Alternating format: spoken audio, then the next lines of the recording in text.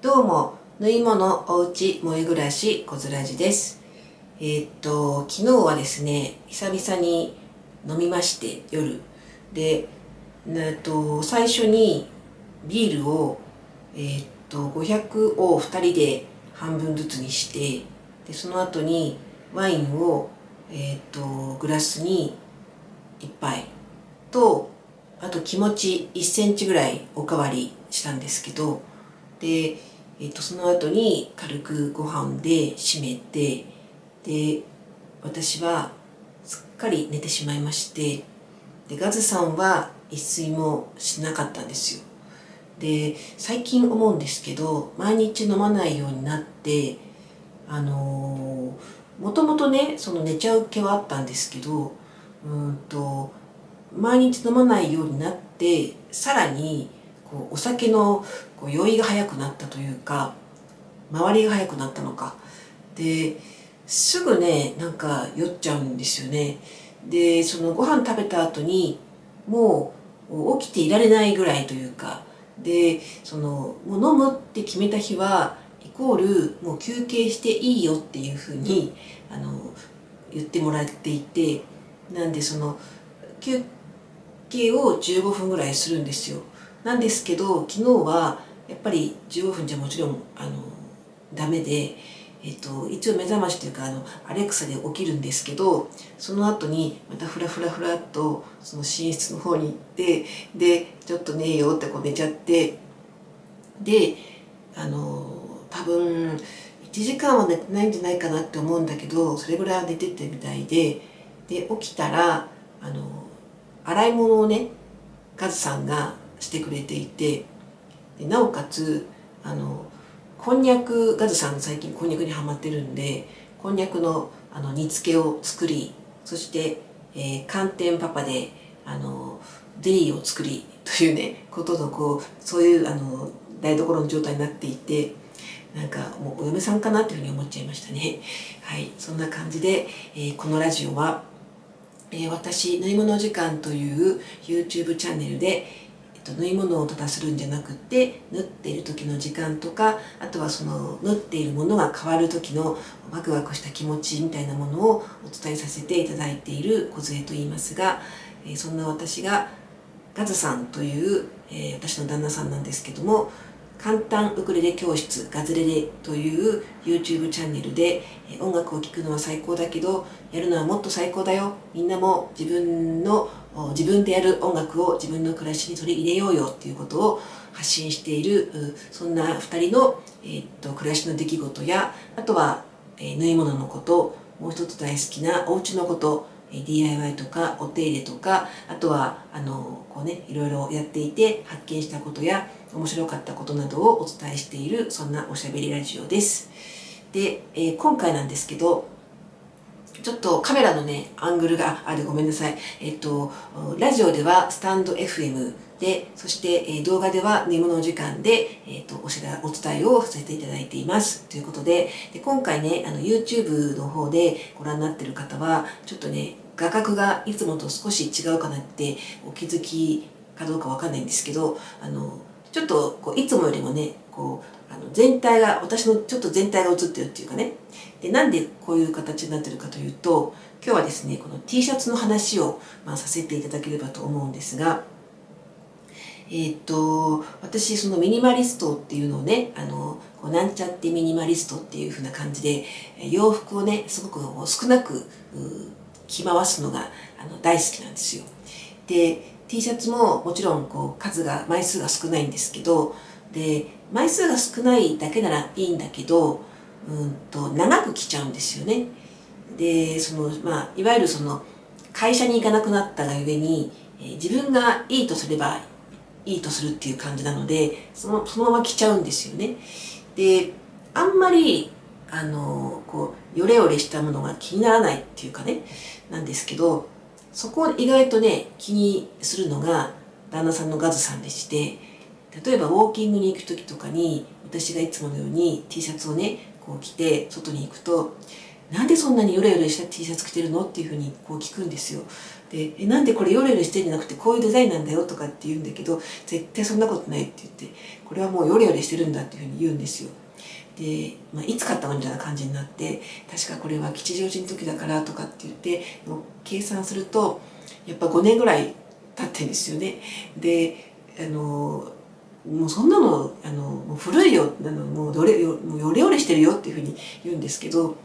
でもこの T シャツ高かったんだよとかって言っていや高かったとか値段の問題じゃないんだよって言ってでそのあの例えば白い T シャツは、まあ、正直言ってあの漂白剤とかねしてもだんだん黄ばんでくるじゃないですか。で黒い T シャツはあのだんだん日焼けしてきてどっちにしてもやっぱり元のこうあの色っていうのがなくなってくるのは分かってたんですけど穴も開いてないしあの普通にね着れるしなんでこう着ちゃうんですよね私。でそれをまあ止められてこの間でもうその服を全部あの処分しなさいって言われたんですよだけど処分するのはいいんだけどその買うね T シャツがねあのもう特に見つからないって言って今そういうモードじゃないから見つからないってなったらじゃああの俺が着ているこのユニクロの T シャツにすればいいじゃんっていうふうに言われたんですよ。でえまなんか最近ねそのどんどんどんどん洋服がお互いにこう寄ってきてるからもうそこも似ちゃうのみたいな感じであの言ったんですけどでもほらほら本当にね夏は気持ちいいしさらっとしてるしいいんだよって言ってであの調べてみたら男女兼用なんですよ。だからメンズをあの着ろって言ってるわけじゃないからあそうかっていうふうに思ってでそのモデルさんとかもね女性の方も来てたりとかして可愛まあ可愛くは一応見えるんですよ。であの安いし試すにはいいんじゃないのっていうふうに言われてで特にねその買いたいものもなかったしでじゃああの試しに買ってみようかって言ってで黒と,、え、っとネイビーを基本ガズさん持ってるんでであのそこをね色を寄せるのをやめようと思って白とあとグレーとあとそのセールになっていたピンクっていうのがあったんですよ。でどうせその試すんだからあの安いやつだしあのセールになってるねピンクも試してみようって言って3枚買ったんですよで、えっと、届いてあの着てみたんですけどでサイズが XS からあるんですよねでちなみにこの T シャツはあのエアリズムの、えっと、コットンタイプなんですけどでそれをね実は今日着てるんですよ。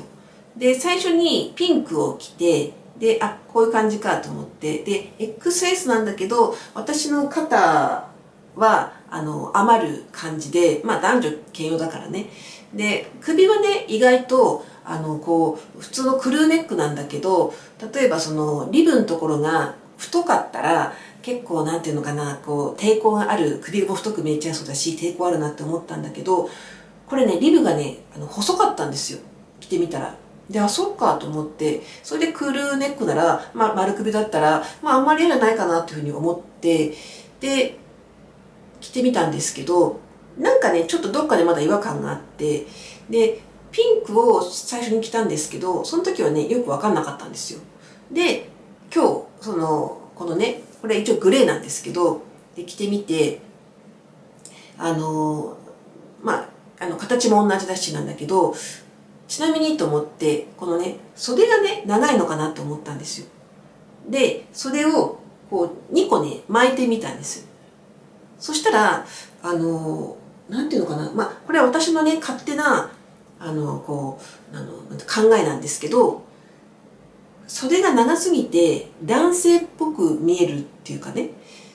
で袖をこう2つ折ったらちょうどなんていうのかなこう私がよく着るその、まあ、いわゆる女性用の T シャツの長さになってこれがねなんか結構ねなんていうのかなこういい感じで収まりがあったんですよね。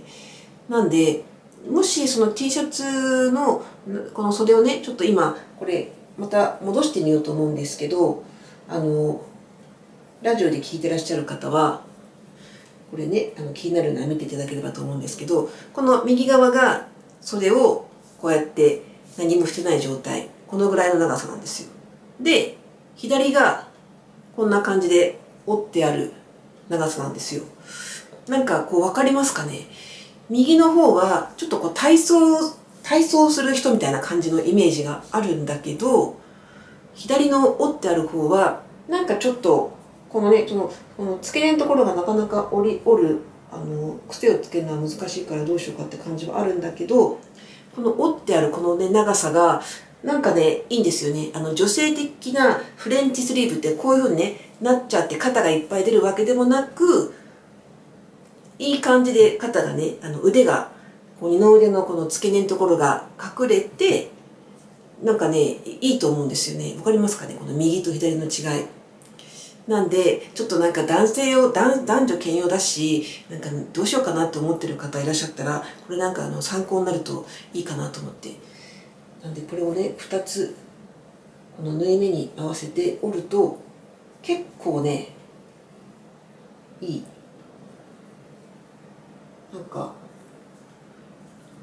これでなんかジーパンとかね合わせても可愛く着れるんじゃないかなっていうふうに、まあ、思ったりとかしてみました。であの何て言うのかな。私結構やっぱりその麺とかあと朝とかが好きなのでこれがねその私の、ま、定番なるかどうかは分かんないんだけどもやっぱりそのうんと試してみるっていうのはねなんかいいかなと思ってでなおかつそのピンクっていうのがね普段私は絶対に買わない色なんですよ。基本的にその身につけるっていうか顔に近いものは暗い色っていうか無彩色を好むので絶対着ることはないと思ったんだけどそのセールっていうねもう1000円しなかったんですよ。なんでなんかこういいあのお試しっていうかねになるかなと思って買ってみたんでなんかねそうやってなんか自分に自分の顔に近づける時の色をすごいなんかこう、うん、高いねあの洋服でチャレンジするのはなかなかこう勇気があるんだけどなんかそういうねちょっと試せるような価格のもので試してみるっていうのは、まあ、もしかしたらいいのかななんてちょっと思ってみて。でなおかつそのちょっとねあの安かったしもしなんかうんって思ってもあの例えばだけどこう刺繍をねなんかこう胸元あの首の近くとかにするとそれが今度ピンクだけじゃなくて例えば無彩色のなんか刺繍したらそこに無彩色が入ることでちょっとまたねこう雰囲気が変わって顔周りが雰囲気変わったりとかもするかなというふうに思うのであの、まあ、無駄にはなんないかなっていうふうに思ったのとあと意外とねピンクがあの嫌じゃなかったんでまあまあなんかいいきっかけだったかなっていうふうにも思います。どうしてもねなんか色をいっぱいあのこう色物のあのこう上着というかその上上物をね、買っちゃうとなんかねあのこう合わせるのがちょっとめ面倒くさいというかね私そんなにそのファッション自体にはあのこう重きを置いてないっていうかねなので着るもの自体にはね。なんでこう着回せてどんどんこうなんていうのかなあのあんまりこう変化がないようなものを好むんですけどもまあいいきっかけだったかなっていうふうにもちょっと思いました。はい。なんで皆さんもぜひそのねユニクロのこれ意外とであとユニクロねあの私冬はもうあのカシミヤのセーターを4枚ぐらい持ってるんですけどもうあれをねずっとひたすら着回すっていう感じなんでまあねなんだかんだ我が家はお世話になってるなっていう感じがしております。はい。ということででえー、っと今日は何曜日だ？うんと金曜日さっきまでね雨がすごかったんですよで雨がやっと止んできてまた晴れてきたんで今撮ってるんですけどもなんか週末ねどうなるのかちょっと台風とかもねいろいろこうありそうですけどもあの素敵な週末を過ごしていただけるといいんじゃないかなというふうに思います。私もそうしたいです。で、えお知らせなんですけども、えっと、10月の20、21、22で、縫い物時間店 in 東京があります。で、あの、ぜひぜひ、あの、え、っと、フリーイベントですので、あの、お気軽にね、あの、お越しいただけると嬉しいなっていうふうに思ってます。で、このラジオなんですけども、え、動画で見たいなっていう方は、あのメモのところにあの URL を貼っておきますので、今日のね、この袖のチェックとかしてみたい方は、ぜひ見てみてください。ということで、コズラジでした。